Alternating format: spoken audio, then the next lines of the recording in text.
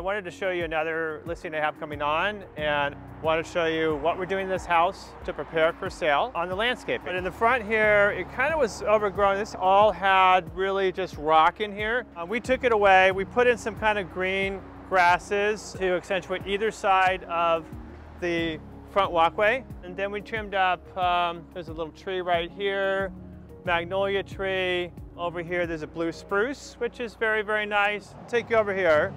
Um, it's got a little round brick area around the tree. So we put some ferns over here and we're gonna clean this up more. We redid uh, both of the beds in front of the house. These have um, a combination of the kangaroo paw in the back. We've got some Mexican sage.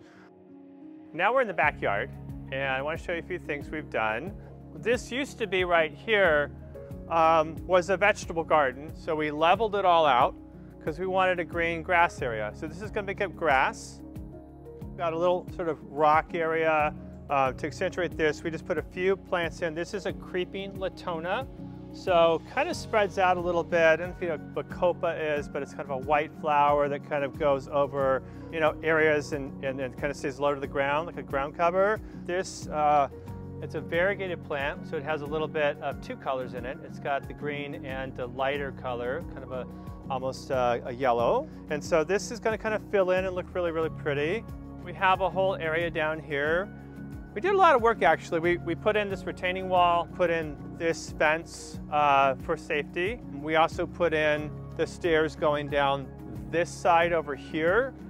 Um, and we built the deck. You can now sit over here and look out on your orchard of all your different types of fruits and, and plants that are growing here. So here I'm standing on the first tier of uh, fruit trees. So we've got a peach tree right here behind me. This is a small avocado. At the end there's a fig tree.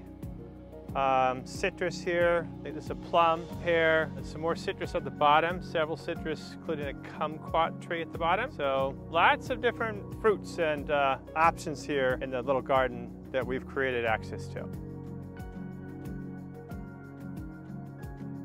And then this side is a little smaller deck uh, with a tree, which we've trimmed up a little bit to make this kind of a, another little area that someone could, could hang out on and enjoy, again, the backyard and sort of the views.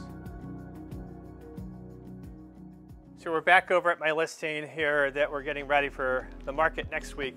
What do you have vision here? What, what can we put uh, in here? What's uh, white pansies, purple?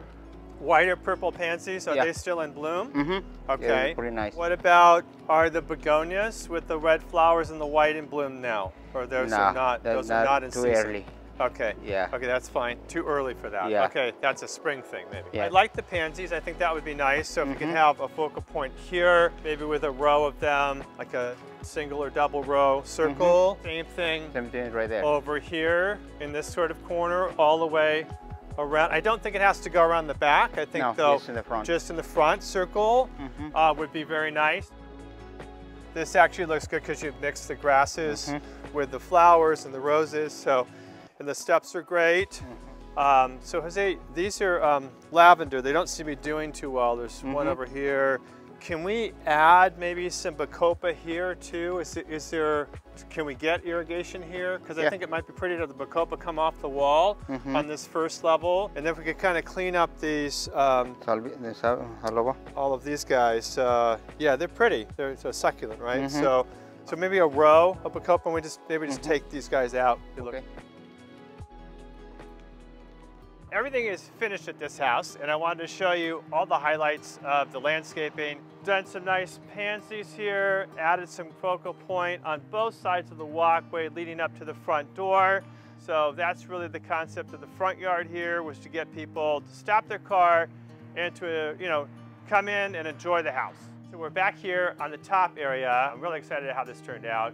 Um, we've got a nice level area here with a level lawn area, which wasn't there before. We have the lower level, which wasn't accessible and now is. And it's a very enjoyable section of the yard.